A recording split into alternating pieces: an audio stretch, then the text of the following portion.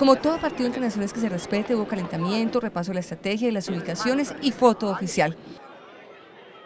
El presidente Evo juega y mucho. Su habilidad en la cancha es evidente y aunque Bolivia tuvo más el balón, el primer gol fue de Colombia.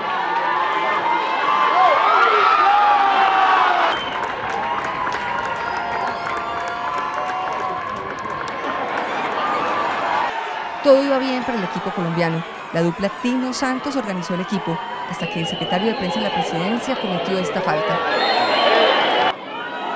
El encargado del cobro, Evo Morales. A los tres minutos llegó el empate. Marcado final, dos para la selección Colombia, dos para la selección Bolivia.